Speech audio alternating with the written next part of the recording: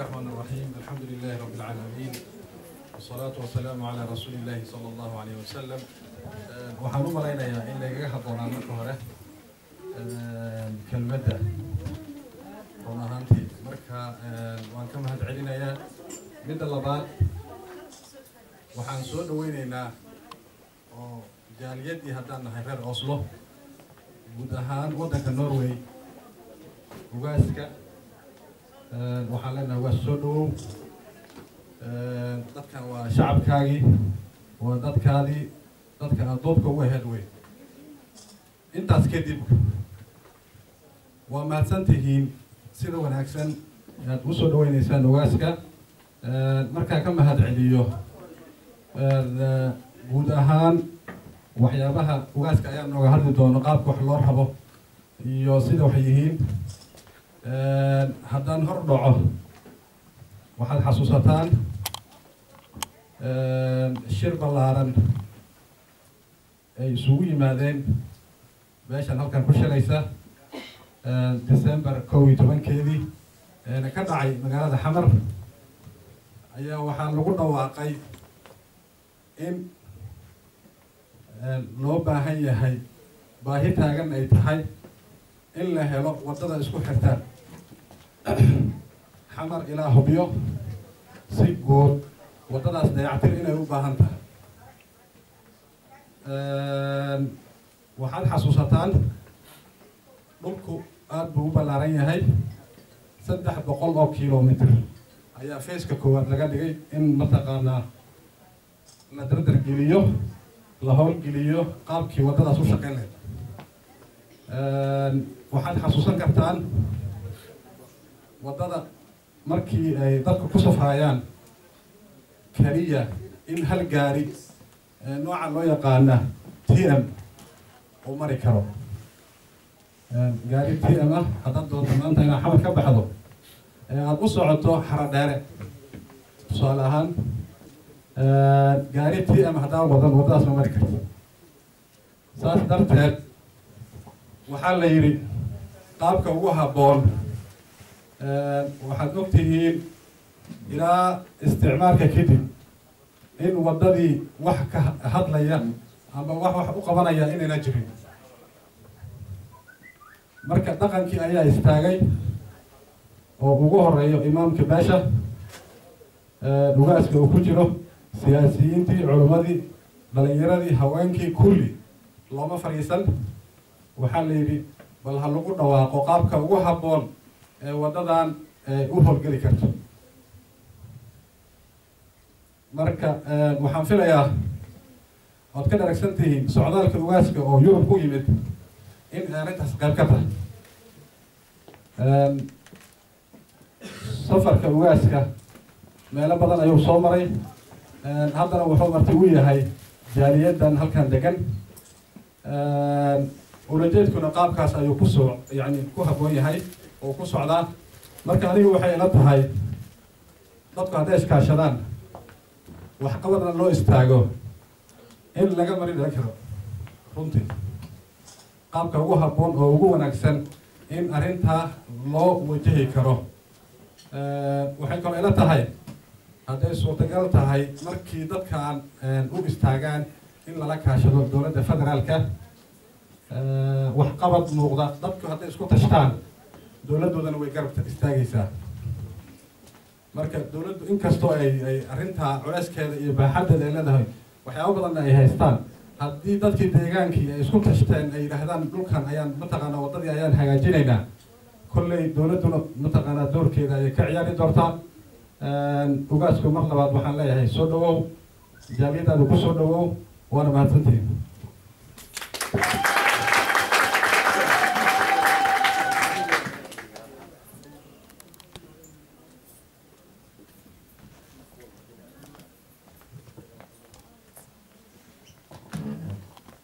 aada iyo aada ayuu mahadsan yahay sheekh yuusuf biitey oo ah siyaasi soomaaliyeed degan waddanka norway.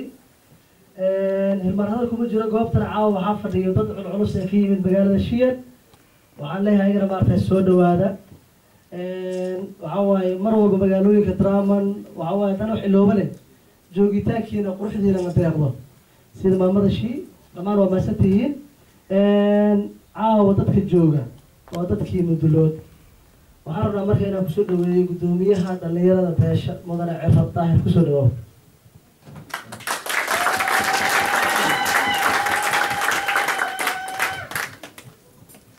asalaamu calaykum. Dhammaantiin aad ayaan idiin salaamayaa waxaa farxad weyn noo ah horta oo ilaahay aan ugu mahadinaynaa intaan oo mudulood oo caawa meel isugu timid oo ugaaskoodii u taagan in ay soo dhaweeyaan oon u kala harin oo xataa caruureen ay nala joogaan. Waa maasha allah ugaas ku soo dhawow norway khaasatan annaga reer oslo inkastoo ay nala joogaan intii agagaarkeeda degan in badan oo muduloodo intaan la egna ay naga maqan tahay. Balse maqnaanshahooda wax matalahay oo waxaa waaye annaga wax matalayna ayagana horta een ugaaska fariinta uu noo wado oo uu noo keenay waa mid annaga keliya aan wax noo taraynin oo u qabanaysa ummadda soomaaliyeed. Wax ay u baahan yihiin oo meesha ka maqnayd marka taas waxay caddaynaysaa dadka mudulood in ay yihiin dad u diyaar ah qaranka wuxuu qaban lahaa ay qaban karaan qarannimadana ay u taagan yihiin mar walba in aysan lumin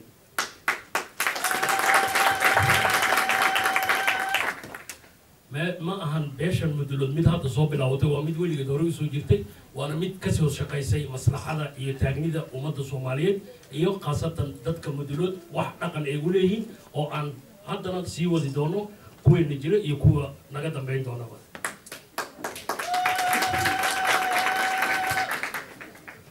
waxaa loo baahan yahay arrinkan maanta oo aan meesha u fadhino oo ah waddadan horey loo qaadayo waa mid aan annaga bilownay laakiin aan la kaashan doono ummadaha soomaaliyeed iyo dadka deegaanada nala dego sidii qaarkood ay haddaba ay u istaageen oo diyaar ugu yihiin.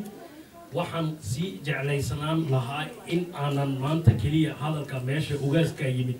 Aanan la oranin oo beri markuu naga tago aan hadalkii meesha lagu ilaawin oo kor loo sii qaado maadaama uu ugaaska noo yimid la soo gaarsiiyey waxaa la rabaa in la xasuusnaado tallaabadii la qaaday horey loo wado aan lagu joojinin.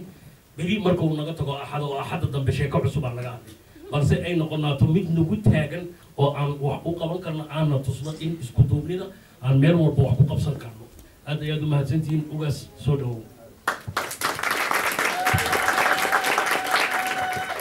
aada iyo aad ayuu mahadsan yahay mudane cere mudane daahir cere sidoo kale maadaama dhalinyaro hadashay waxaa laga yaaba in laisleeyahay waayeelka aawe marka yurubaa la joogaa waayeelkii wuxuu adeegaa waalidkiis waxaan kusoo dhaweynaya adeer shahar kusoo dhawow adeer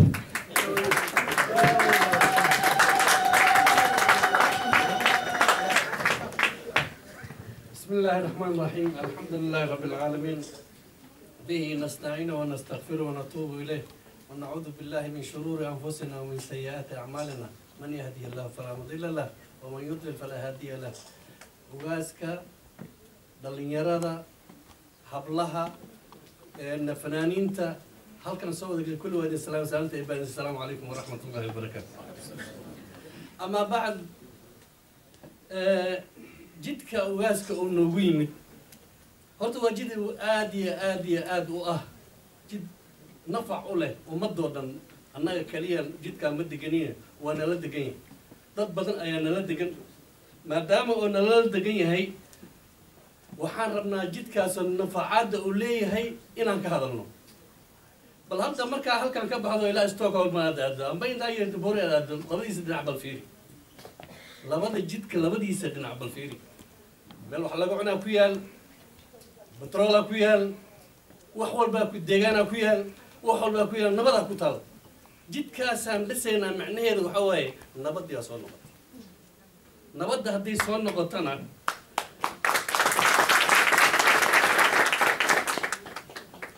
jidka xooggiisa inta badanna waxaa degan muduloodaa degan maadaama ay mudulood degan yihiin oo haddana meeshaan ugaaska noogu yimid annaga maaha inaan nidhaahno wallaahi waxbaan jidka waa kugu taageeraynaa iyo waa yeelaynaa iyo afkeena waa inay ka timaada maxaan bixi karnaa? Maxaan awoodnaa? Annaga haddaan naha reer norway. Maxaan awoodnaa?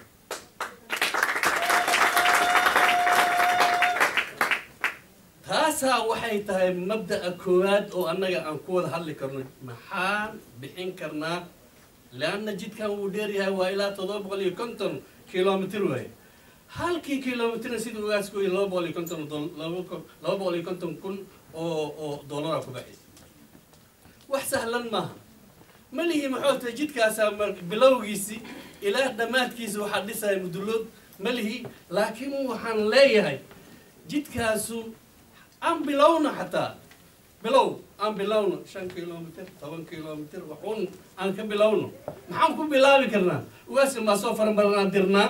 Aan niraa waa kaa daba imaanaynaa mase waxbaan nirahnaa? Maxaan nirahnaa waa inaan isu sheegnaa oo aan nirahnaa oo niraa ugaas annaga haddaan reer norway nahay intaasaan kugu deeqi karnaa keligiina go'aanka ma gaari karo. Waa inaan wada hadalno oo go'aan aan wada gaarno. Oo ugaaska aan ku dirno soo faramaran inaanan dirin aan ku dirno wax oo annaga tabarteena aan dirno.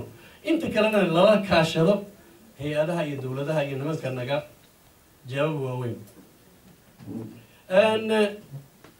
sida aad ogtihiin een, jidkaanu iska fabo iska deg maaha sidii waagii hore la sheegi jiray hadda odayaasha ay sheegeen. Ni hadda waa isma wadaan nima ooyayil ama waayil maahi.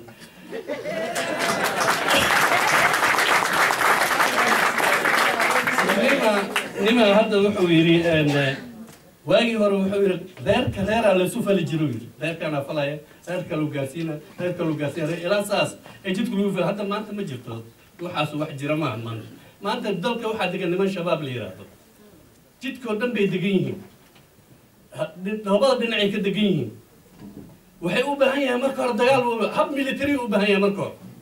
Waa in military lala kaashtaa waa in lala tahay jidkii la nadiifiyo laga nadiifiyo caqabadaha hor yaalla laga nadiifiyo oo nimankan oo laga nadiifiyo oo dhiig bay u baahan yahay. Kabacdii u baahan u baahnaanaysaa howlihii kaleeto ugaaska waxaan leenahay annaga horta soo dhaweynteena ugaas adoo fara maran annaga nagama tegaysa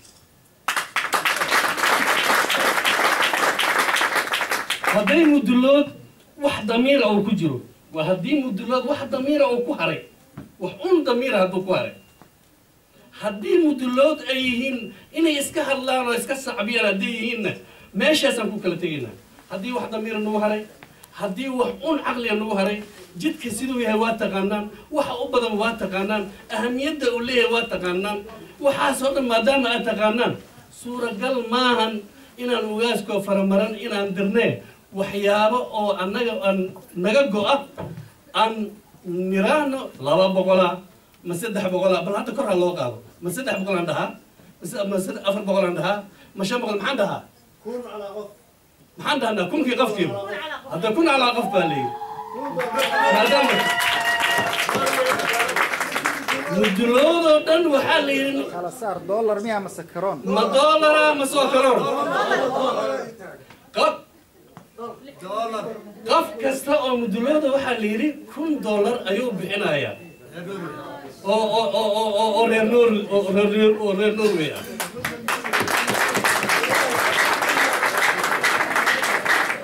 haddee ogaada hal shay ogaada annaga ahludiin aan nahay.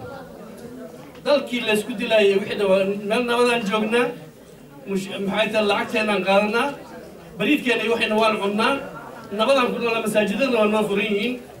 Maaha inaan been sheegno berrito in layskaaga baxa maahan. Berrito hadalkaas maanta aan ku hadalnay in layskaaga baxa maahan min kun dollar ninkii mudulooda la yidhi min kun dollar aan ka halla hallays qoro maadaama la qoray hallays wada qoro nin kasta wacdigaas oo ballantaas oo galay ha ka baxo ninkii aan ka bixi karinna haddaba ha yidhaha ma ka bixi karo. Nin haystaa ma jiro. Waxaan ogahay kun dollar iyo ka badan inaad inaad inaad bishii labadii bil idinku baxdo. Waxaad reer u dirtaan iyo waxaad adinka cuntaan iyo waxaad dhar ku gadataan iyo maadaama jiddan oo ka dhexeeya muduloodoo dhan la dhisaayo kun dollar laa ba'sa bihi wax dhibaato ah oo ku jira male sidaas awgeed waxaan leeyahay waa soo dhawow ogowna inaanu annaga kaaga tegayna sidaas asalaamu calaykum waraxmatullah وعليكم السلام ورحمة الله وبركاته ويلك يا شهر وأكو بأسي هاي بقى بدي waxaan leenahay anaga reeruna haddaan nahay ugaaska wuxuu soo maray jarmal denmark sweden dhammaan soo dhaweyn qurux badan waa arageen. Laakiin annaga dadka waxaan uga duwannahay wixii aan qabanay iyadoo codan abwaankeena jooga bashiir cali xuseen iyo abwaankeena daadeer xuseen xuseen cadde xuseen madow waxaa inta maqladaa laga bedelay marka caawa ugaaska dadka xuseen cadda loo bixiyey marka waxaa waaye heestii oo code aan idin shidayna oo shirib loogu talagala waddada oo aan rabnaa qof walba balafta inuu dareemo dareenkiisi casa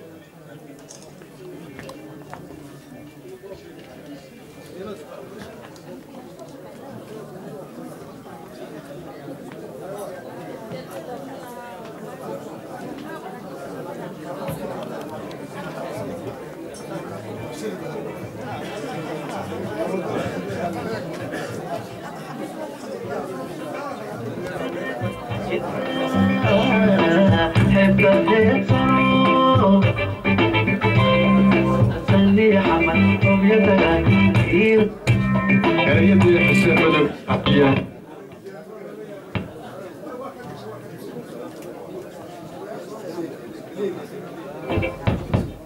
laxankii bashiir cali xuseen guddigii cabdirashiid cali xamari codka waa gobolka shirabka xuseen cabdullaah cali soo xuseen nuuriyow isku dibridkii kurees dotcom ah siraan studio Thank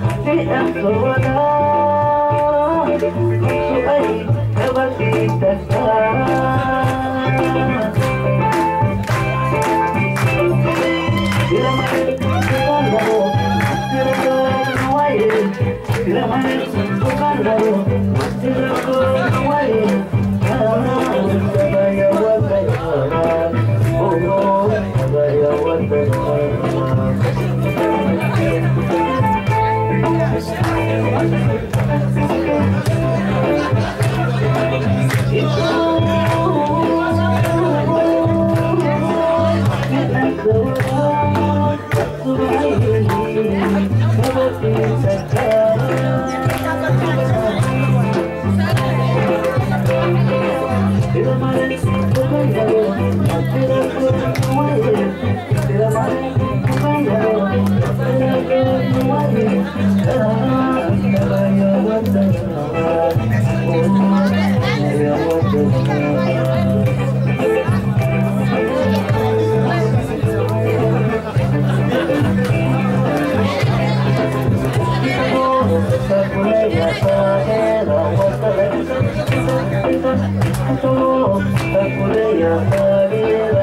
Yeah.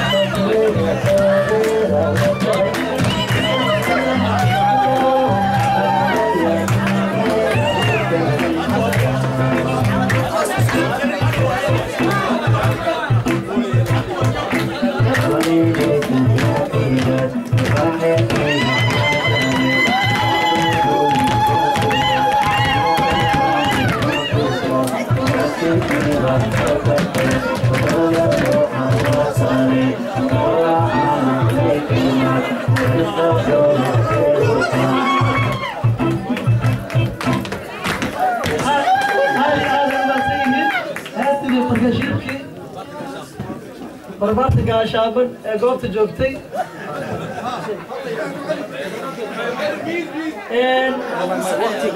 waxaan aad iyo aad ugu faraxsannahay barbaarta gaashaaban ee ciyaarta ay soo bandhigeen abwaanada waa badan yihiin abwaan kelimo waa joogaan abwaan bashiir cali xuseen abwaan xuseen cadde waxaan leenahay soo dhowaada waxaan rabnaa marka si loo fahmo ujeedada meesha u imaanay waxaan kelimada kooban aan siinaynaa ugaaska ugaas si aan u dhegaysano bal horta waxa aan rabno iyo waxaan ka dhihi lahayn kadib haddana asagaa noo soo xiri doono brograamka asagana ducada noogu soo khatimi doono hadda waxaan siinaynaa ugaaska si aan u dhegaysano waxa aan u imaano goobta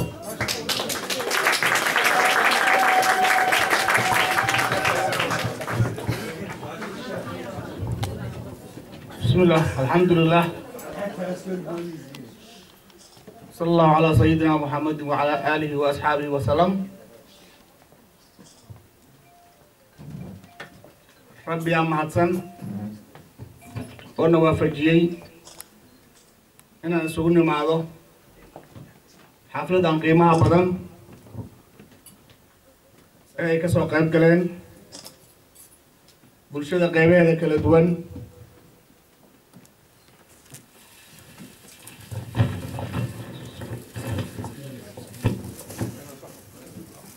Bulshada qeybaheeda kala duwan rag iyo dumar aqoon-yahan culumo dhallinyaro abwaanada iyo guud ahaan meediyaha salaadiinta iyo guud ahaan dadka sharafka badan ee aan madax magacooda soo koobi karin. Awalan waxaan leedahay assalaamu calaykum waraxmatullaahi wabarakaatu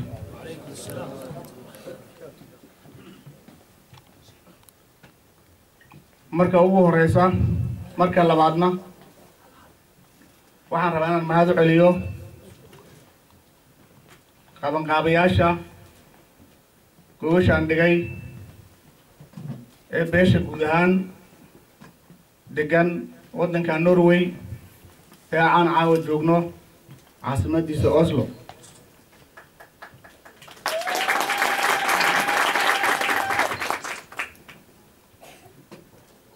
intaanan u gudbin hadafka iyo ujeeddada aan idinkugu imid xilligan adag waktigan aad ku jirtaan xilli idinkugu cuslaa ee qabowga daran jiray inkastoo haddaad idinku tacbaan ka joogtaan anigana aad qiyaasi kartaan heerkan ka joogo barafka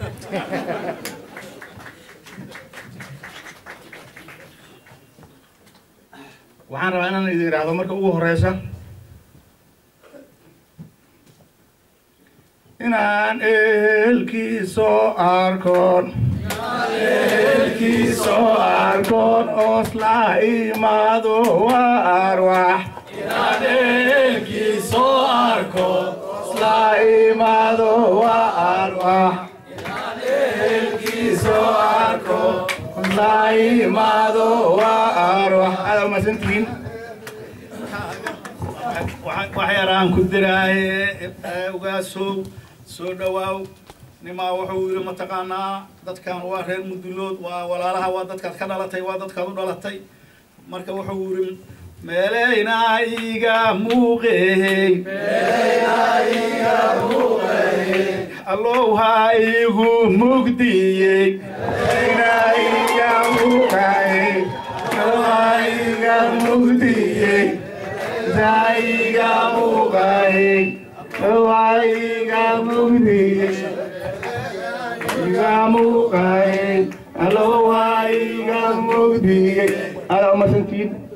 kuwaas waxay ku leeyihiin highway ma loo heli karaa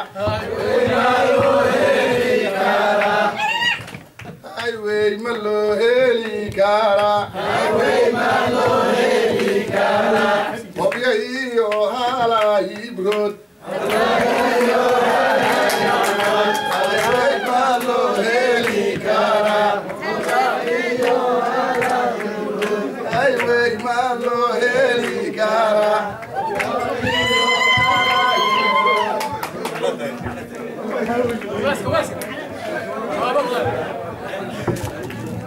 waa runtaa xasanow hadda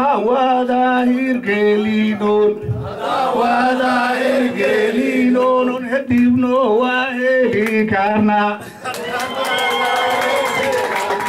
kadibno waa heli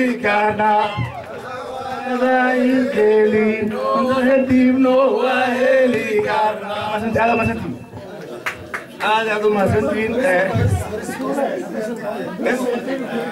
mahadsantihiin bismillah. Intaas kadib waxaan rabaa inaan u gudbo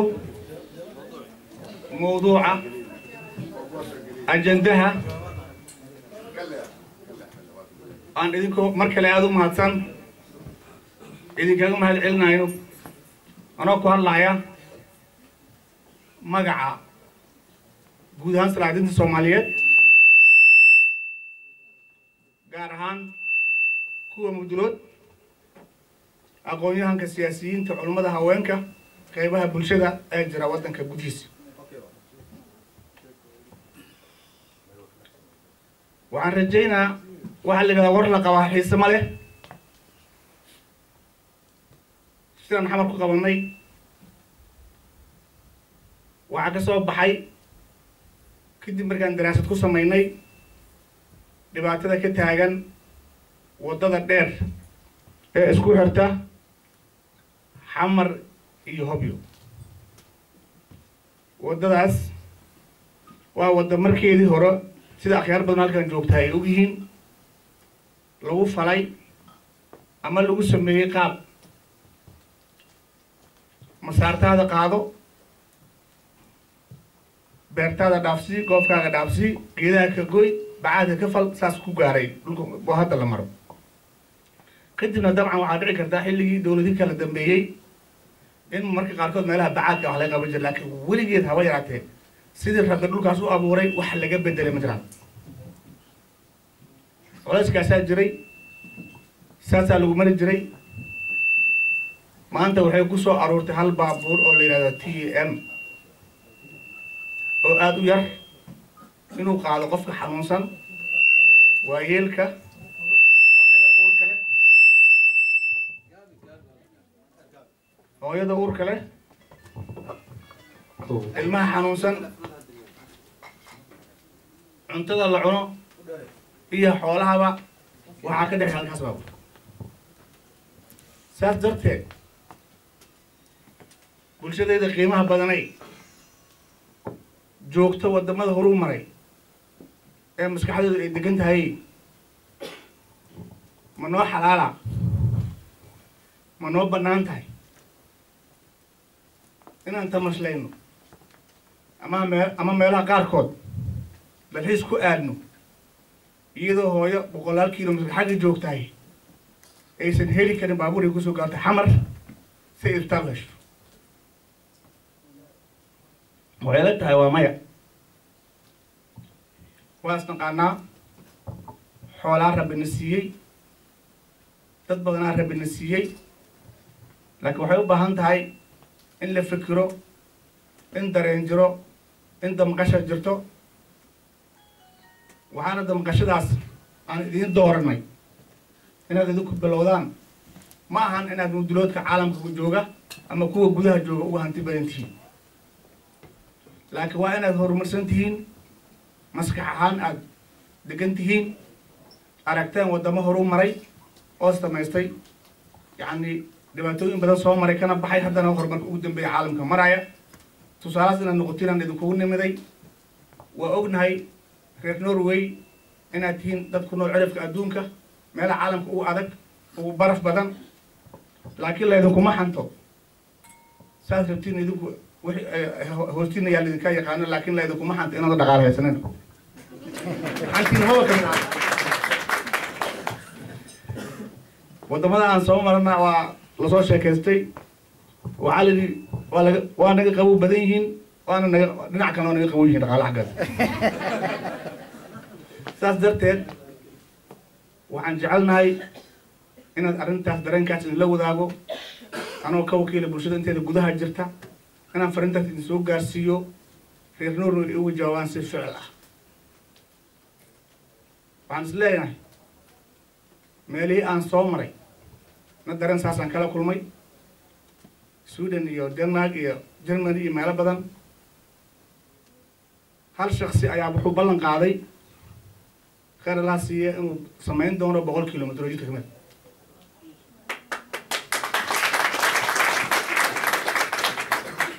marka shaksigaas oo siiye qiimo weyn noogu fadhiya waxaa isaguna qiimo aan caadiga noogu fadhiya qofka waxa bilaaba. Annagu guddiyaan samaynay culumaan samaynay ganacsataan isu keennay haweenkii aan isu keennay dadkii bulshada wejiga kulahaa isu keennay konton qof oo guddiyahaa jira akoonaa jira websiteaa jira wax walba waa cad yihiin wax la qarqarinaayo ma laha lacagaan annagu inta qaadan akoona ku shugayna ma jirto. Dhaqaalaha reer norway ay ku tala galeen inay ku tabarucaan iyagaa akoon u samaysanaya iyagaa urursanaya iyagaa guddi ula baxaaya. Markay gudaha yimaadiinna iyagaa ku xisaabtamaya sida loogu tagrifalay iyo sidii hanti waxay dhigteen loo marsiiyey meelihii ay rabeen. Saas darteed wixii su'aalaha oo ka furan arrimahaas iyo jidkana diyaarano inaan ka jawaabno farintaasaan idin soo gaarsiinay soo dhawaada hadootana ma waa maqlaayay corneelka iyo akhyaarti hadashay si fiican wax u ballan qaadeen. Laakiin hadda kor ninaa wuxuu yidhi aniga weligay goob la isugu yimid iskuma ceeloginu shilin iskama dhibinu see waxay marka wuxuu yidhi hasha koowaadi ay sheegaan ha sheegaan lahu intaana ka baxaw. Marka horta waxaan rabnaa reer norway waxay ballan qaadeen kheyr siiye inay fuliyaan ballanqaadkooda inay fuliyaan. Hadday guddiya leeyihiin iyo qaabay dhaqaala u ururiyaan hadday leeyihiin waxaan u fadhinaa inay aan ku kala tagno maaha in anigu lacag qaadanayo la ururiyo wax bil kasta socda joogto ah oo qaabaysan oo leeyahay reer norway bish intaasaa looga bulshada inteeda kale idinka gaarsiino arrintaas waa cadiban dadka koowaad inay bilaabaan raban idinka waaye aadaad u mahadsan xafladan erey inta waxaan ka barta waa shidan tahay yoruba laga yaqaan marka xafladan sida gaarka u shidanna waa idinka mahad celinaa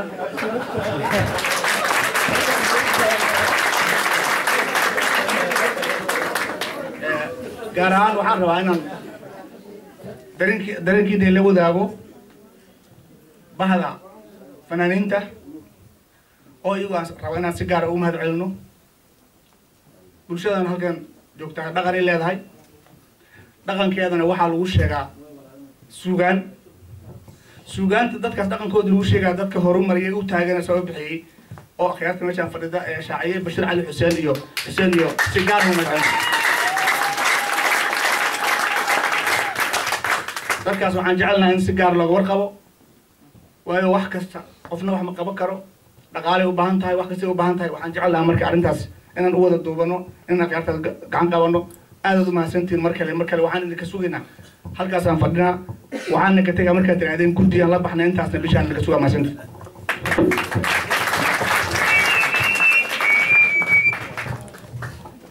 aada iyo aad ayuu mahadsan yahay ugaaska sida dhaqankii ugaas waa soo xiri jiray.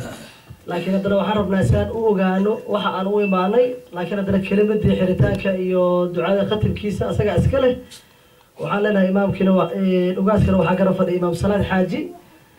Waxaan rabaa marka hadalkii maadaama ugaaska hadlay hadda qofka dhimo waa la tabaa. Marka waa saciid maxamed shiir naneesta haddaan ku daranay ayaa lagala yaabeen waa saciid mobleen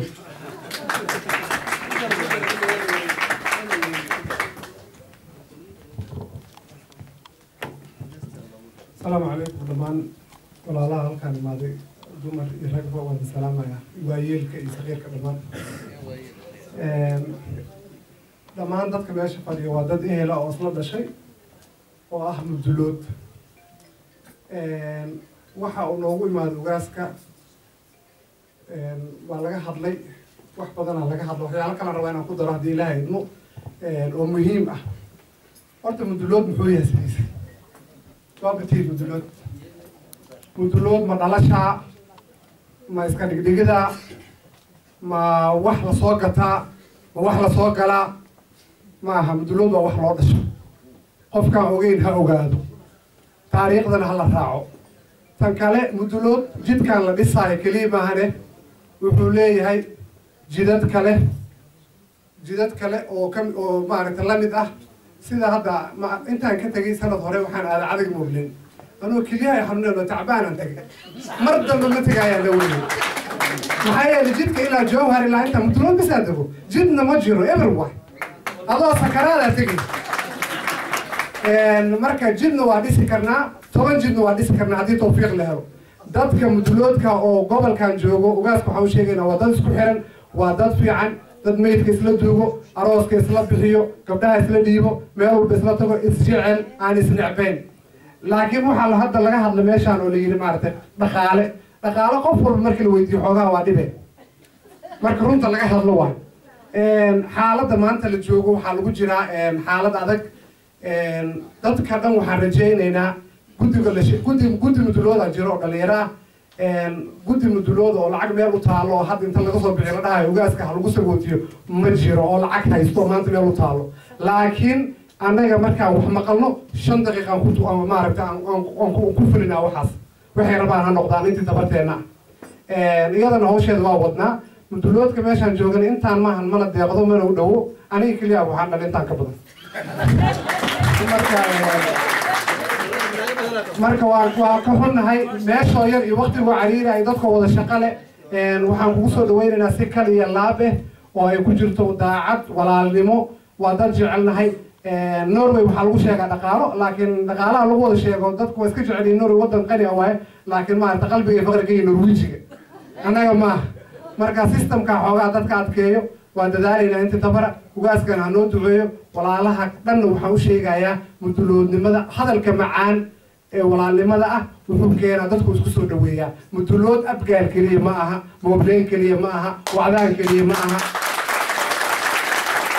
dhaqaala haddii la aruuriyo oo lagu aruuriyo magaca mudulood magaca mudulood waa in loo isticmaalaa oo lagu bixiyaa annaga dhibaato nama dhex taalo dad wanaagsan oo ehel oo jecel aroosyada gobollaa u tagnaa.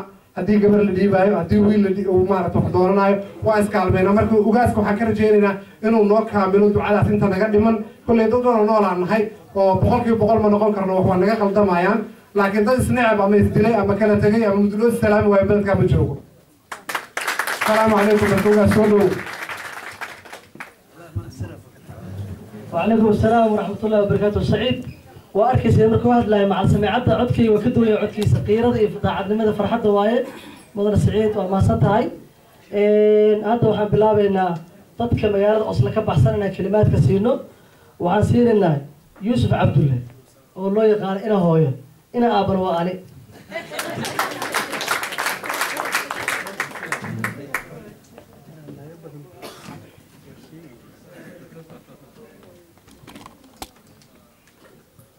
ninka magaalada shiya ka yimid waa dadka waddanka lagu soo horreeyey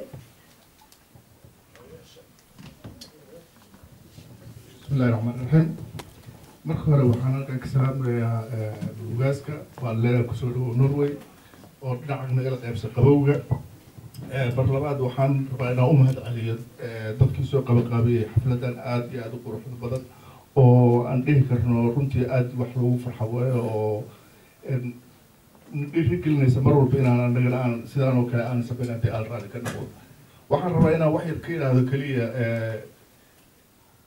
imaatinka iyo muxuu ahay danaha gaarka ah ee laga leeyahay safarka uu ku yimid muxuu ahay ergaga ama muxuu ahay ugaaska uu ku yimiday oo in muxuu ahay dalkii wax loo qabto in jidkii muxuu ahay wad- oo la sameeyo dheeraa oo dad badan oo dhibaataysan oo soomaaliyeed oo ama muxuu ahay mudullada ay ku nool yihiin ha noqoto muxuu ahay dumarka ha noqoto muxuu ahay ganacsiga ha noqoto muxuu ahay dhinaca eh, xagga xagga muxuu ahay eh, isgaarsiinta wax walba ha noqoto. Sidaas daraaddeed eh, dhaqaalaha ku baxaya jidkaas sidiisaba ma yara oo waa lacag aada u fara badan ayaa geli doonta dhaqaalaha ku baxaya meeshaas isaga ah. Mana aha mid keliya anaga aan buuxin karno. Laakiin waxaa la yidhaha bukaan ninkiisa abaansadaa la yidhi. Waxaa la rabaa marka u horreysa inay xildhibaanada ka u dhashay ee ka soo jeeda deegaankaas marka u horreysa inay ayagu meel walba intay garaacaan dowladda ay wax uga raadiyaan ee samafallada wax uga raadiyaan kadibna muxuu ahaye hawshii sidaas lagu wado. Wixii ummaddu ay qaban karto markaas dhinacaan mudulood ay qaban karaan dhinacooda ay ka qabtaan. Waxaan rabaa marka dadka oslo ku nool oo soo qaban qaaday xafladda qaaliga ah marka hore inay guddi intay ka soo dhex saaraan. Guddigaasi u kala diraan muxuu ahay dalka norway. Ma- magaalooyinka meel walba oo norway ka mid a waxaa ku nool dad aad iyo aad u fara badan ku nool oo la dhihi karo wax qabad iyo karti badan ayay leeyihiin. Sidaas daraaddeed waxaan rabnaa in dadka oslo ku nool ay iska soo saaraan guddiyo ay u kala diraan gobollada si ay u suurto gasho dhaqaalaha hadda aan sugayno mid ka sii tiro badan inaan helno. Oo si deg deg ah lagu sameeyo guddigaas ayagu ay yimaadaan ee meel walba yimaadaan. Anigu waxaan ka imid telemark magaalo dhahdo dadkaas ayaan wakiil delegationka ila socda waa kuwaas xagga fadhiyaan waxaan rabay inaan ogaano bal sidii wax lagu qaban karo iyo dadkii wax aan la naqan karno. Sidaas daraaddeed waxaan rabnaa dadka oslo ku nool oo guddi intay iska soo saaraan noo yimaadiin nala fadhiistaan. Dadkii aan u bandhigno muxuu ahay maxaan awoodi karnaa oon ku bixinaa jidkaas isaga. Ah annaga inaan qofka iska xukuno oo dhan waxaas bixi waxaa ka fiican inaan isaga fikirkii aan u bandhigno aan siino. Sidaas daraaddeed waxaan leeyahay ugaas ku soo dhawow waxaan diyaar u nahay inaan garab iyo gaashaan aan la istaagno dalkeenna iyo dadkeennaba waana mahadsanta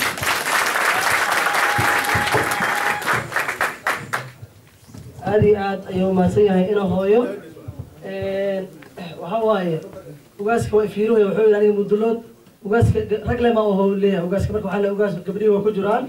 Weliba gabdhaha waa ka duwan yihiin gabar siyaasaan sii haynaa marka oo naciimo caseer la yidhaaho.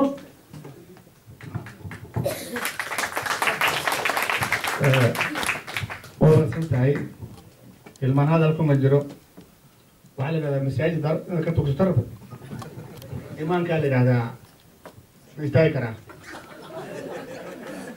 dii kale leeyahay fariisayda ma lidi marka gabdhaha masajkii wuxuu si gaar ugu socdaa gabdhaha cidda imaan ah waa aqaanaa halkan ka eh gabdhaha marka shaqada hawrka calo mahadsan yihiin weliba naciimo caseeraan siinaynaa marka inay soo dhawaato naciimo caseer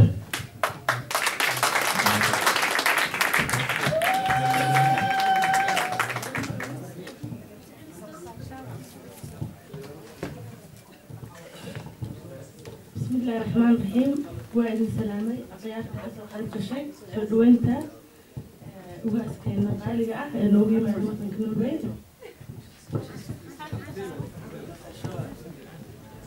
bismillahi raxmaan raxiim magacaygu waa naciime xasan kabuutooy waxaana xildhibaanad degan wadanka norway waan ku soo dhaweyneynaa ku soo dhawo wadanka norway adiga iyo imaamada kula socda iyo aqyaarta kula fadhidaba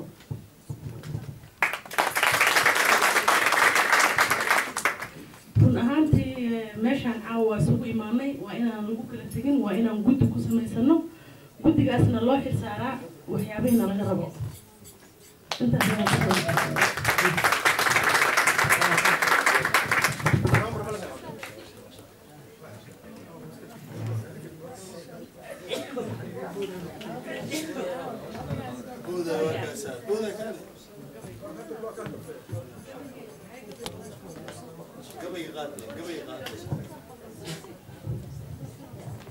ciiddeennu waa hodan hiddo baynu leenahay. Hanti iyo barwaaqe waa inaan habaynaa. Hawo sare u qaadnaa. Haybheeb qabiilkuna hawadaan ka saarnaa haleeyadaan leenahay waa inaan la hadalnaa hubka aan ka qaadnaa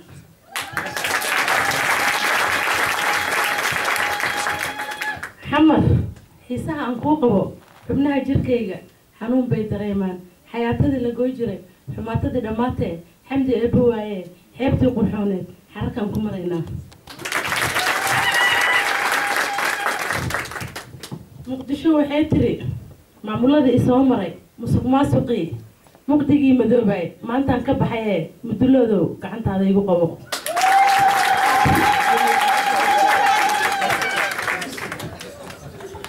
aad iyo aad ayay umahadsan tahay. Dumarka intii dhiman gadaalaan ka sii doonaa anagoo soo koobayno cashadii noo dhiman bilada khaas oo dad khaas la sii doono ugaashiisoo sii doonaa dhiman. Marka waxaan isle hadda sii sheegto warka waa kaa macaan beelaha ugaaskaa la sugi doonaa. Haddana waxaan siinayaa kelimadda adeer cumar madoobe nabadoon ku soo dhawow calaykum waraxmatullaahi wabarakaatu beesha reer mudulood gabdhaha u horeeyaan wiilasha ku xigaan eh, akyaarta dhallinyarta eh, odayaasha culummada siyaasiga salaanta islaamkaan ku soo dhaweeya assalaamu calaykum waraxmatullaahi wabarakaatu eh, qof kastoo hadashay waa asiibtay khilaafna kama jiro in jidkaan la dhiso ilaa waxaan la riimayna ilaa intaan anugu yaraayaa lala riimaya anigaan hadda duqoobay.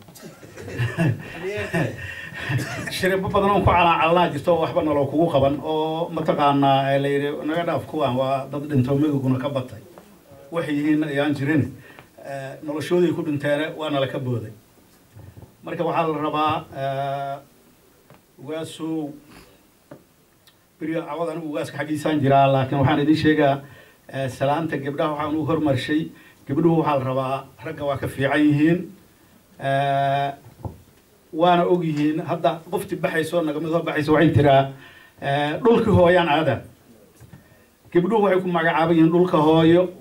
Intayna haddaan dhimato dhimano adoogina laku magacaabi maayo waxaana laku magacaabaa eh, heblo heblood amba heblo heblood. Waa dadka mataqaanaa ugu fiican bulshada. Meel walba waxaan dhegaystaa mar lacag laga ururayo ingiriiskan kulli gabdhaha laga yaba wallahi hal nin boqolkii halaa soo gelaya marka waxa waayey eh, ugaasow dadkaad ka dhalatay ood u dhalatood ugaas ku aheed mar lamaad iyo mar saddexaad iyo mar afaraadba ku soo dhawaaw Eh, waa ku salaamayaan waxaa kaloo kuula jirta eh, dadku haddii waa waa irmaa yihiin laakiin lisday rabaan. Eh, haddii eh, laga looga dheelo lisida haddii looga dheelo bilaash waaye. Waxaan rabaa anigu waxaa laga dhawaajiyay in hadda wax la aruursho kun doolar la aruursho. Waxaan filaa beriga haddaan idhaa nin toreham jiraan idhaa arigaa kunaa lagu soo qoray iga yeeli maama wadadii xiga xataa. Xaadis badanay u baahan tahay. Yaan dheel loo qaado waxaa la yidhi xooluhu waa xaadoo la jiidayo ya waxaa la rabaa marka eh, idina sheegi maa adeer shahar waxaa laga yaabaa eh, war uu ka dhawaajiyey. Waa duuliyahayni waa korneylkayni waa ninkaan jeclayn. Laakiin waxaa laga yaabaa arrimaha bulshada hooso eh, dhaqan hoosaad gooniya iyo jaamacad gooniyaha looga soo baxaa isaguna waxaa laga yaabaa intuu dhaqankaas bara lahay inuu dayuurad barahaya iyo hab military waddan ku daafaco marka waxaa waaye arrinta adeer shahar anoo magaca ku hadlaaya mataqaanaa cayaar ma gasho lacagtaanu waa lacag culus. Waxay u baahan tahay dad la tanaadsado. Waxay u baahan tahay eh, rag ka shira. Waxay u baahan tahay guddiyo. Waxay u baahan tahay eh, mataqaanaa ugaasku hadda looma soo dirin eh, wax dhan oo siyaaraan oo gacanta ku qaado. Jid dheere oo tm waxaan ahayn aan ka shaqaynaa loo soo diray. Lacag lagu dhiso. Marka waxaad yeelaysiin eh, arrintaanu niman yahow xoodis badanay u baahan tahay dulqaad badanay u baahan tahay. Cay dheexa waa lagala kulmaa. Dadkaynaan aqaan eh, mataqaanaa wax walba waa ku jiraan. Jar yar jaafeela yidhaha herbaadiyuhu. Eriga yaryar iyo eriga waaweyn. Halna waa jar halka waaweyn waa jar. Halka yaryarna waa jaafeel. Marka jar iyo jaafeel dadkan waa iskula jiraa waxaan idiin sheegaya hadda siciid maxamed sheekh wuxuu ka dhawaajiyay anoo afkayga kala baxay war waxaa intaan waa jufayarba xataa eh, bal mudulood weyne iska dhaafe Juf- jufayar xataa ma dhama. Waxa isugu soo isugu galay. Haddaan osla joognana waa ogtihiin meel walba waa dhoobannahay meeshaanay kaa dhegaysaayaan. Waxa haddii lacagaa la qaadaa amba walaxaa la qaybsaa amba jagaa la qaybsaa la yidhahan waa soo dhooba lahaayeen. Horta isiiq dadku ma jecla. Qaraabooyo idinka hoos bixin. Marka waxaa la rabaa dad culus oo culus. Ilaahay naguma ceebeeyo dad culus in mataqaanaa oo la isugu roonaado in mataqaanaa meeshaan laga magacaabo. In fadhi waxaa la yidhi gacmo geelay hoosaa loo dhaqaa inaan iscayno ugaaska hortiisa maa isku caynaa? Waa maya. Ugaaska inuu eros waa mataqaanaa. Lacag inta weydiiyey caytameen inay yidhaaheen maa la rabaa? Waa maya. Marka waxaan idinka codsanayaa arrintaas yaan arrin dheela oo mataqaanaa laabla kaca ninkii oo marka wax la yabo iska yaboohi jiray dhihi jiray. Ducadaan rabaa ma anu hadda wax dhiiba weligay wax ma dhibi laakiin ducada un inay gashaan rabaa. Marka lama rabo yay saas naga naqan. Arrintaan waa arrin culus.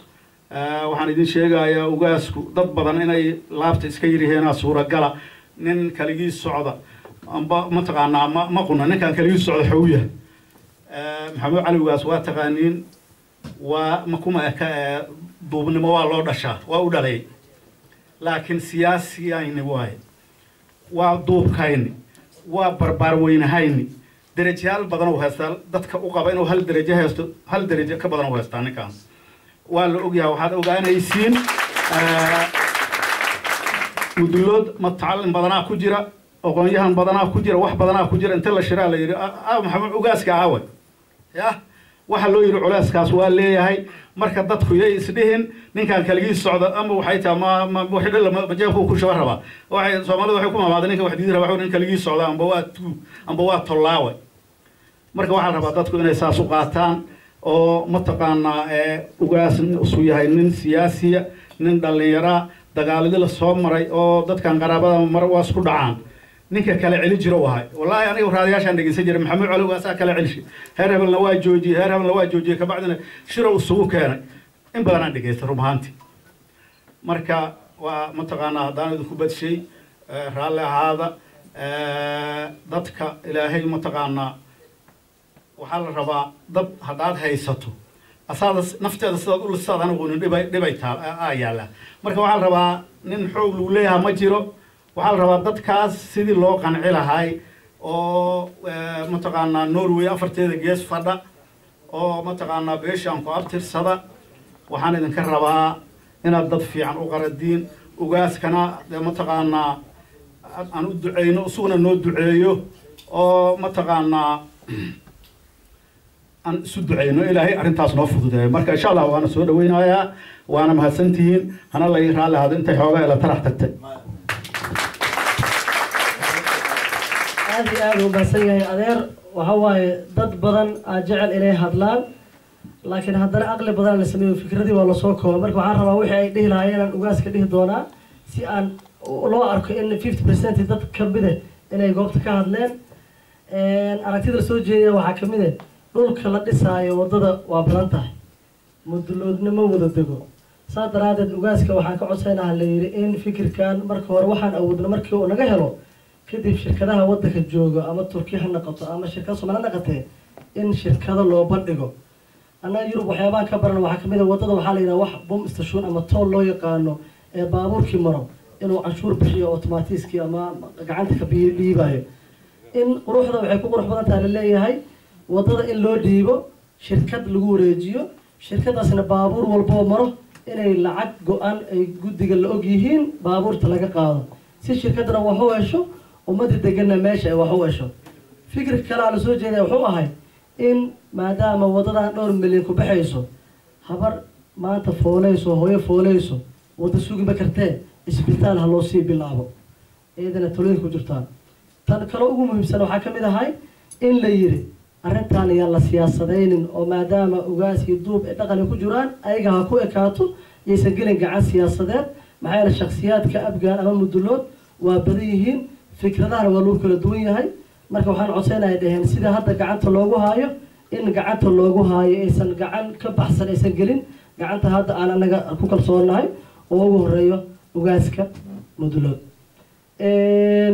fikirka ugu dambeeya wuxuu yahay waxaa la ugaasow dadka ugaasa u tahay siyaasadana adigaa wax ka xulo. Marka yurub iyo america ingiriis iyo meel walba dadka waa la geeye reer norway qof u jooga ma jiro xamar marka jaalida reer norway hal qof oo ka socda inaad sanadkan noogu darto waa rabnaa haddaa awoodo. Marka waxa waaye hadda koora anina waxaa la yidhi barbaara inta baxo dadkiisa u tagay markaasaa waxaa la yidhi muraadaa leedihiin muraadkiina sheegtuu yidhi. Markaasuu yidhi anaga wax kale muraad ma lehayna haddaad xamar tagto la soo tilmaami haay dadka reer norway reer badanaa dheh wixii tabartaada noo tabay ogaasow kelimadii waa sii wadanaynaa anigoo goon joogna guntii gabagabadii waxaan siinaynaa maamooyinka ugu qaalisan magaalada norway. Dhammaan way badan yihiin. Marka haddii aan hal iyo labo maamada aan u jeedo oo maaragtay ugu wanaagsan guddiga waxaan siinayaa maama. Maama faaduma qaali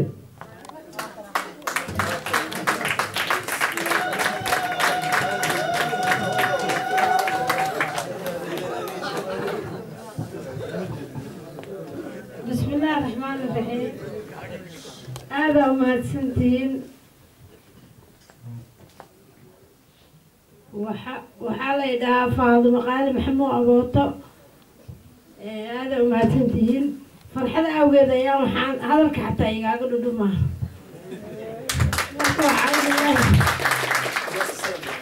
waxaan salaamayaa ugaaska iyo marti sharafta la socoto kulligii iyo dadkii jooga dhammaan maduloodka yimid maantay iyo kuwa maqano waqtigooda u saamixi waayey iyo meel kastoo joogtiin.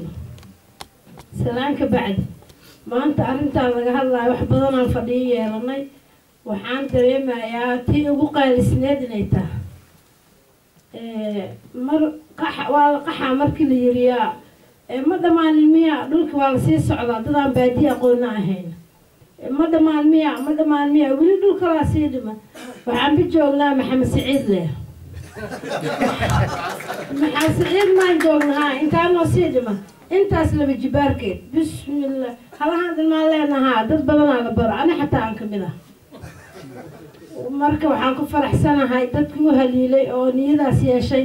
Dowlad weyn oo aada iyo aada u qawad weyn oo geesta africa ugu fiican ugu weyn ugu qiimo badan ayaa joogtay. Waxna ka qaba weyse ayadoo burburkan iyo dhibaatadan taagan jirto dadkii u haliilay ee dheheen in dhulkaas la sameeyo ayaan ka dhex aragnay in lagu adkaado oo wax walba loo fududeeyo. Dadkii dheheen waxaan leenahay fikirkaas keeneen hortoro kulli si niyad ahaan ugu duceyna qoftii maqasho toban jirka xaafadda jooga wuxuu leeyahay dhulkii dheere oo sheegi jirto maa hooya aa la dhisaa. Marka alxamdulilah shukr bilcaalamiin tan kale oo ah dhaqaalaha oo aruurintiisii oo aan ka hadalnay wax badan. Sida ay sheegeen dad iga horreeyo badan maasha allahu waxaa waaye waxaana la markii la yidhaha haddaan meeshii lagu dhiibin dhibaatooyin iyo culeysyo badanaa lagala kulmaa. Dadka iyagoo isjecel oo dhahaya maanta maxaa yeeli amba maxaan qabanaa haddana xoogaa keenta waa culusta. Ra'yi ah haddii la samayn karo in muddo sanad ah wax socahaya kollay kama yaraahayso arrintaas ambaa ka bada eebo in dadka akoonyadooda akoonaa la leeyahay gabadhii wiilka mudulooda isqabo in hal akoon laga maamulo. Wixii la cadeedana laga qaado ra'yigaas waan ku darsanahay dad badan ayaa hadalka sugaayo ugaas marka la soo dhawaa baan ku leenahay aad iyo aadaan ku soo dhaweyneynaa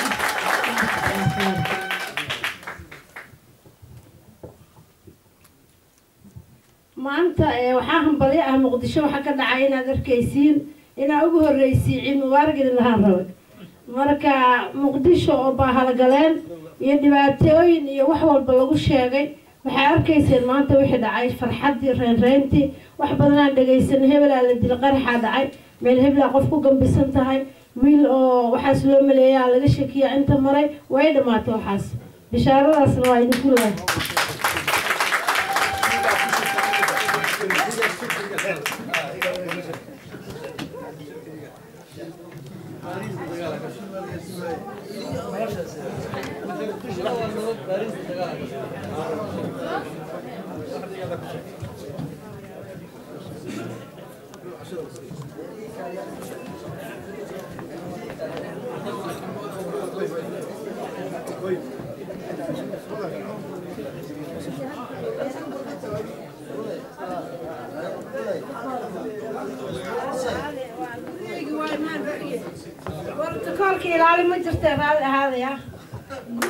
gurigeyginaan joogo u dareema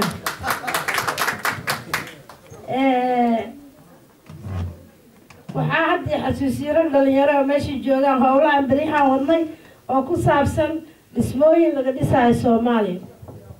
Howlahaas ayaan ku jiraa kambani noocaas ayaa soo socdo. Xamaraan u soconaa norwij iyo soomaali dhalinyaro oo injineero waxbartay oo waddankan ku dhashay qaarna ku barbaaro waayo. Iyadana waxaa idin leeyahay guryo waxaa xilaysiin standard ah nooca yurubiyaaniya iyo north america dhismadoodii qaabkooda ah oo aada u fiican waxaan ka dhisaynaa. Marka ugu horeysa kambaniga marka aan galayay qorshihiis wuxuu ahay dayneyla howl badan kabacdi waxaa soo baxday. Baahiyooyin badan markaan aragnay. In la dhiso kaaraan in la dhiso liido qayb ka mid a oo gobolka banaadir la siiyey kambani ahaan ugu deeqay. Iyo cirfiid cirfiid iyo jasiiro shan goob ayaan ka diyaarinay oo ah hadda howsheed miis ka saaran tahay dhulkiina dhagax dhigin oo uu yahay febraayo janaayo febraayo oo yahay bisha dambe insha allahu howl badan ayaan ku jirna waxaa idin leenahay iyadana ku soo dhawaada arrintaas cusub ayaa jirto waxaana loo dhiibaa lacagta si yar yar qiimo jabanna waa insha allah tacaala ood ku farxdaan ayaa heli doontaan annagoo ka duulayno quruxdii dalka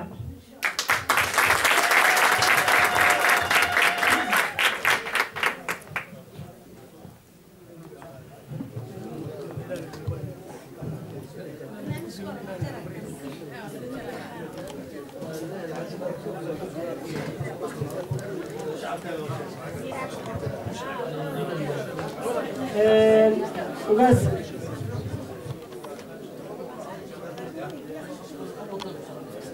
aada iyo aad ay umaasan tahay maama qaali kelimadeedii waxaan rabnaa waxaan rabnaa ugaaska wuxuu xalay go'aamiyey dad khaas ah oo aan is leeyahay muxuu yidhi in aan ka farxiyo oo aan bilad aniga aan guddoonsiinaya jiro yidhi bilad hala soo diyaariyo. Dadkaas ilaa hadda aniga xataa ma ogeyn oo hadda warqadda la igu sheegay. Waxaa ka mid a waa bashiir cali xuseen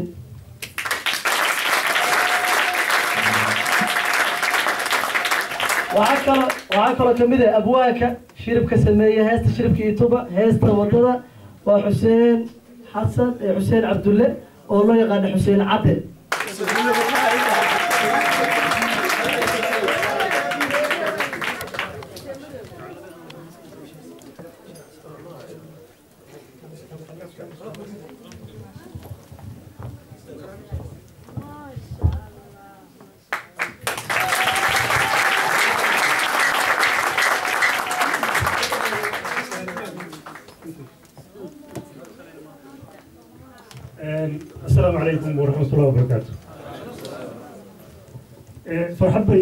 caawa goobtan sida uu ugaaskaba sheegay sida aadka u shidan inaan soo istaago oo aan fahmo marka xiga ugaas maxamuud cali ugaas cabdulle waa ku soo dhaweyneynaa dalka norway anigoo wakiil ka ah ee jaaliyadda telemark. Intaas intaa kadib aniga waxaan ka mid ahay dadkii ugu horreeyey yabooha waddada dheer gurmadkeedii ama wacyigelinteedii ka qayb qaatay oo heestii ugu horreysay dhismadeedii wax ka sameeyey anigoo mar kale ku hadlaya magaca hal abuurka iyo hobolada soomaaliyeed waxaan ku guubaabinaynaa inta ka qaybgelaysa waddada dhismaheeda ama howl ku bixinaysa in ay mataqaanaa garab istaagaan dhammaan hal abuurada. Inta maasada tarisa inta muusiga tunta inta heesta oo aan looga maarmi karin waddada dhismaheeda haddii aan la yidhaahdo waxaan jeclahay inaan ka faa'iidaysto xafladda uga faa'iidaysto weligayba waxaan u sheegi jiray dadka yan iyo weynba midnimadu inay wax weyn tahay oo lagu wada noolaan karo. Waxaan rabaa inaan markale xusuusiyo midnimo waxay tahay. Midnimo waxay ka bilaabataa laba lamaana ah oo isxodxodtay wiil iyo gabar isshukaansaday ayay ka bilaabataa. Wiilkaa iyo gabadhaasi yarka yaryarka ah ee jacaylkooda oo tarmay owgiis wuxuu dhaliyaa qoys. Qoyskaas oo tarmay wuxuu noqdaa qaraabuu dhalaa. Qaraabo tarantay wuxuu dhalaa qabiil. Qabiilka oo tarmay wuxuu dhalaa qowmiyad qowmiyadda oo tarantay waxay noqotaa qaran qarankaas ayaa midnimo u istaaga. Qarankaas iyo midnimadiisa ayaa wax lagu dhisi karaa wadajir iyo iskaashi ayaa wax lagu dhisi karaa. Marka quluubtu waa inay ku jirtaa waddadaasi sida ay ku hirgeli karto oo ay ku socon karto oo wax looga qaban karo inay tahay midnimo iyo wadajir. Isku kalsooni waa mahadsantihiin. Mar kale waxaan soo dhaweynayaa saaxiibkay ugaas maxamuud oo mar hore isugu keen waxaan leeyahay soo dhawow ku soo dhawow dalka norway.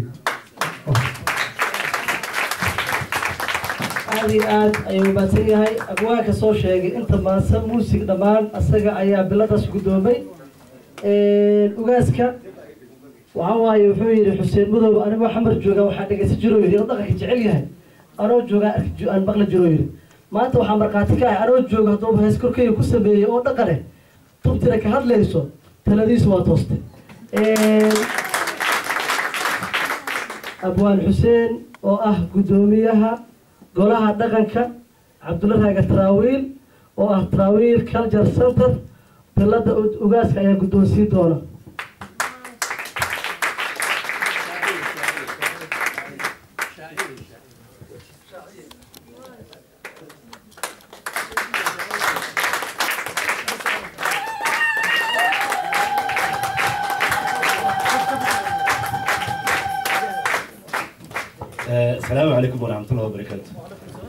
waxaan u malayaa sidii ustaadkeedu kale aniga war badan ma aqaan xikmad badan ma hayo. Wixii aan sheegi lahaa waxaan u malayaa xalay iyo habeen hore hees ku sheegnay. Anigii in la yidhaahdo xuseen nuuriyow ustaad bashiir cali xuseen sidoo kale wuxuu nagu caawiyey dhinaca laxanka. Runtiina aadan horta ugu mahadceliyaa ustaad bashiir cali xuseen. Ninkii ugu horreeyey igu guubaabiyey inaan hees sameeyo oo aan isku dayo inaan sameeyo ereyo dhaqan eh horta bashiir cali xuseen waaye maantana aadan ugu mahadceliyaa waxaan dhammaantiin rag badan oo dhiirigelina meesha waa joogaan oo aan jeclahay horan anoo carrabaabin oo ka mid yahay cabdicasiis maxamuud faarax cabdicasiis kuusow waxaa ka mid cabdirasaaq koofi boodaaye oo asagana ka mid ah golaha dhaqanka hadda ahna afweenka golaha dhaqanka ee taraawiil waxaa kaloo ka mid ah xuseen gamoon saaxiibkay wuxuu ka mid yahay raggii ugu horreeyay ugu dhiirigeliyey inaan sameeyo heesaha shirka ama shirka website-ka warkii ugu horeysa lagu soo qora wuxuu ka mid ahay dadkii ugu dhiirigeliyay inaan ka qaato. Runtina horta aadaan u faraxsanahay maanta in ugaaskii ugu sarreeyey mansabka mudulood inuu beladaasi guddoonsiiyo caawa farxad ugu weyn. Runtiina isamaraysa qalamaayo ugaaskana waxaan leeyahay soo dhawaa ugaas. Maasha allah beladaana waxay ugu dhiirigelisay inaan maanta wixii ka dambeeya meesha aan joogo boqolkiiba konton haddee boqolkiiba boqol ka dhigo wacalaykum asalaam waraxmatullaahi wabarakaatu waxaa waaye waxaan u marna caawa abwaanadaa la haysto kaamirabaanka oo ah abwaan oo ah saxafi asagana gabay ama abwaane wax ugu talagalay waddada ayaan asagana kelimad aan siinaynaa waa cabdirashiid cali maalin oo ah abwaan soomaaliyeed ku soo dhawo asalaamu calaykum. Waa idin salaamayaa dhammaan dadka ka soo qayb galay iyo dadka soo abaabulayba alxamdulilah inaan hadlo mar hadduu bashiir cali xuseen hadlay iftin waa hadasha anna waan hadlayaa. Waxaan ahay dhalinyaradii ku soo barbaartay iftin ilaa iyo hobolada waaberi waxaan ka soo qayb qaatay saxaafadda oo aan wax ku bartay. Alxamdulilaahi wasaaradda warfaafinta iyo dalxiiska hadda dalxiiska looma yaqaan marka waxaan rabaa marka hore inaan soo dhaweeyo ugaas maxamuud ugaas cali ugaas inaan soo dhaweyno marka ugu horeysa waxaan ku leenahay ugaas soo dhawow. Waddadanna waxaan leenahay marka ugu horeyso waddada maxamuud cali ugaas ugaaska iyo dadka kale ee waddanka jooga dhibaatadii ayay goobjoog ka yihiin laakiin annaga akoonada wax noogu soo dhacaan. Dhibaatadaasna ma hayso bamka waddooyinka yaalla iyo xaaladiisana waad ogtihiin. Marka laba kelmadood ayaan rabaa inaan ka idhaahdo waddada. Waddada waxaan ka leeyahay waax iyo waadiyaa laga rabaa waddada dhisideeda inta waax iyo waadi ku abtirsato xukunno hore ayaa waddanka soo maray laga soo bilaabo istiqlaalkii intii ka dambeysay cid wax ka qabatay maysan jirin. Hadda maadaama uu u istaagay ugaas waxaan ku leeyahay riyadaadii way kuu suuro gashay. Waanu ku dhinac istaagaynaa. Hadalna maahine hoo iyo fikirba waa ku siinaynaa. Marka waxa aan rabnaa oo aan hadal ahaan aan leenahay dadkan injineerada ah ee wax soo qoondeeyey waxaan filayaa inay waddamo kale ka yimideen. Jeebkeenna haddii aan ku tashanno seejantooyinka baabuurta iska rogayaasha annagaa iska leh kaawooyinka annagaa iska leh xamaaliga annagaa iska leh dadka aqoonta leh annagaa iska leh balse waxaan leenahay turubka naga baandheeyaan. Shirkadda waddada dhisaysa horta marka ugu horeyso. Sababtoo ah waxaa jira magaaladan holland la yidhaahdo badaha la duuga. Konteenara konteenaro cara ah ayaa laga soo qaadaa morocco marka waxaan filayaa dadka isku dhuftay xisaabtan waddada inay dhisanto qayb ha ka qaataan carrakaawada waxay ka baxaysaa degmada kaaraan iyo agagaarkeeday ka baxaysaa waddadana degmada kaaraan ay ka baxaysaa. Marka waxaan filayaa haddii baabuurta shidaal lagu shubo iyo sheeballada la isugu yimaado ee la go'aansaday in la wada leeyahay waddadan waxay noqon doontaa mid annaga tabarteena inta aan gaarno ilaahay oo ay noqotaa sanadkiiba aan labaatan ama soddon kilomitr aan ka samayno waddada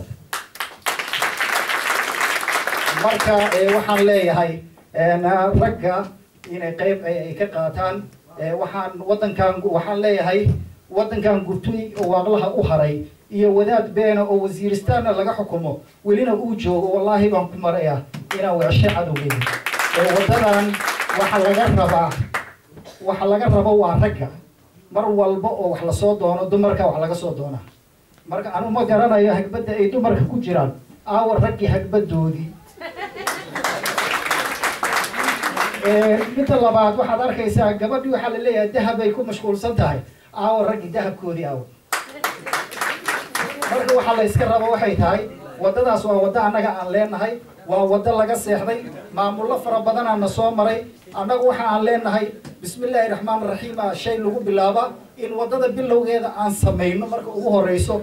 Intii annaga awoodeenna ah lana kaashano wixii ay ay ka badan tahay. Midda labaadna wacyigelin waxaan ahay dadkii eh, ku soo barbaaray golweyn jilib rout dhismaha waxaan ka ahay nin aqoon buuxda u leh. Waxaana kugula garab istaagayaa hadal maahan inaan garabkaaga istaago. Qaabka wax loo sameeyo ama waddooyinka ilaa hadda aan sacuudi arabiya ka imid waxaan ku soo qaatay eh, takhasus aada u wanaagsan. Takhasuskaygana maaha nin injineer oo qalin intuu qaato wax ku soo bartay maayo waxaan ahay nin practical wax ku bartay. Maantana waxay u baahan tahay baratikaalay u baahan tahay. Marka waax iyo waadi dadka degan waddadaas inaan gaarsiino intii aan gaarsiin karno ragga iyo dumarkana in layskaashto ilaahay idinkiisna laysku duubnaado salaamullahi calayk wacalaykum asalaam waraxmat wabarakaatu gabagabadii ayaan joognaa waxaa waaye brograamka ragaa furay. Ugaaskai intuu soo xiran dumara soo xiraya maama sokorey ku soo dhawaaw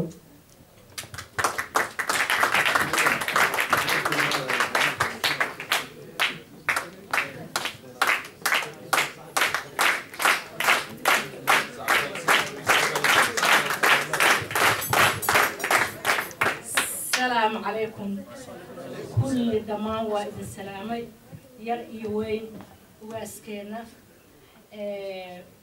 gabdhaha kulli dhammaan waa idin salaamay. Salaam kadib waxaan leeahay waxaan sheega ma aqaano farxad.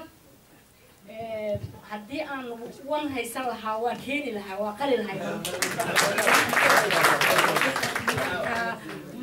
Meeshaan igma jirto suuriyad ileysa suuriyan jira ugaas waxaa geelaa lagu qali jiray ida la dhaqaaleyaa lagu soo dhaweyn jiray.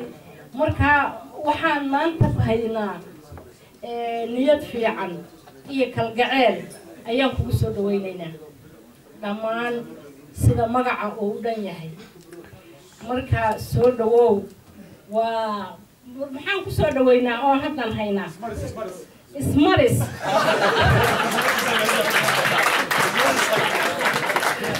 waxaan ku leeyahay waxaan ku leeyahay ismariska macnaha ma ahan waxaa jirtaa qof waliba wuxuu hayo keenaa mo marka annaga haddaan ismariska keenno haatee waxaan haynay inaan keennay ugaas nooga qaado.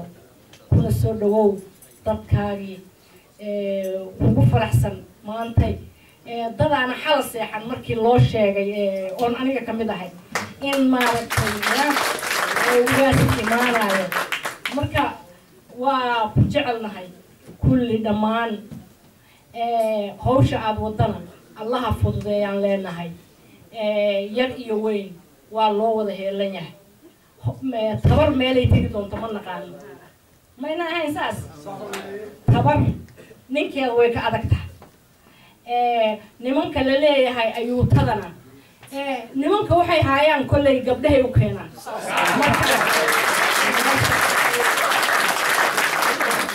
Gabdhaha wax weynaan ku tabaynaa. Marka saas aawadeed ayaa loo yiri gabdhihii iyo.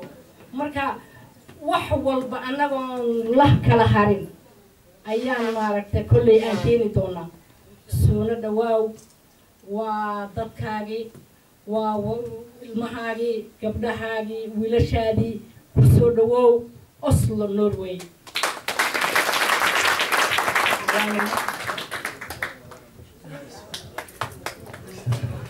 Aad iyo aad ayay umahadsan tahay maama sokorey ugaas ilaah ku jecel yahay tiri annagana waa ku wada jecel nahay ilaahna wada jeclaado. Waxaanu joognaa gabagabadii. Hal kelimad ayaa siinayaa walaalkay salaad xaaji xaaji cir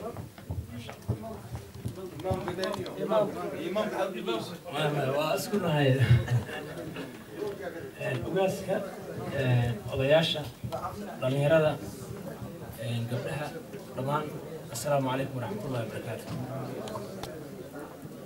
salaan kadib brogaraamka caawa la isugu yimiday sida ay u muuqato waa brogaraamka ugu wanaagsanaa ee intaan la eg isugu yimaado midda kale waxaa laga hadlaya waa waddadii. Waddana waynu ognahay waxaa ku xiran nolosha dhammaanteed. Haddii ay waddadaas maanta ay noo dhisanto oo aan xataa bilowno waxaa soo noqonaysa dhammaan noloshii oo dhan.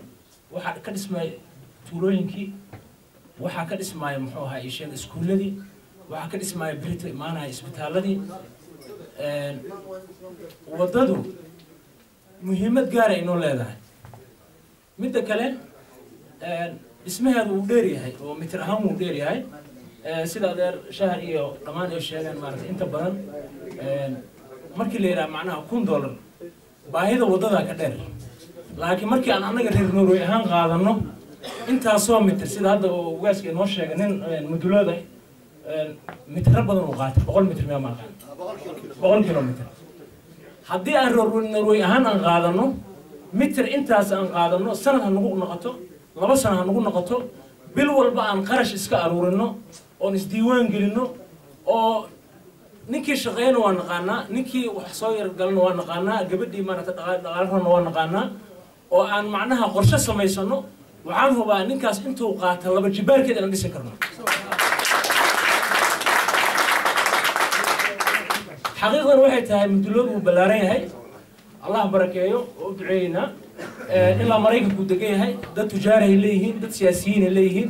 Maantana waxaad xasuusitiin madaxda qaranka ugu sarreyso inaan ka mid nahay gobolkii annaga aan nahay gobolkii kale annaga aan nahay. Haddii intaas iskaashano oo aan wax bilowno berri waxaan helaynaa dowlado naga caawiyo. Dowlado naga caawiyo sababtoo ah dad yaryar oo maanta soomaali oon dhul weyn deganayn ah maanta waxay dhistuhaan wadooyin laami ah laami dhistuhaan marka runta waxay tahay reer norway ahaan inaan ugaaska u sheegno inta mitir horta aan anaga tashano marka hore ugaaskana u sheegno inta kilomitir ee aan qaadan karno waddada aan ka qaadan karno. Marka insha allah xooga ku sii dhaarama haddii ilaahay yidhaaho waa marka insha allahu tacaala waa waa mahadsan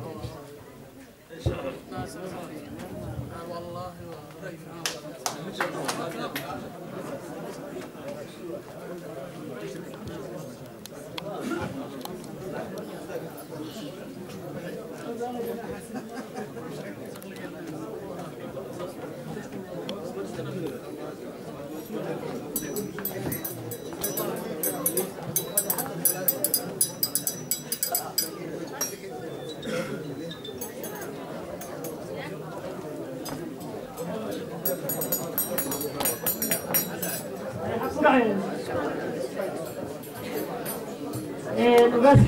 wuxuu inoo soo jeediyaa ka jawaabaa marka ugasaasiinana saddexda aragti oo reer ruuri aan weydiinay oo looga jawaabaa haddana ugaaskaan ku dhiibaa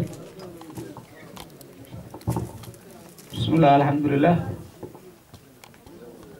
talooyinka ka yimid ka soo qabkalayaasha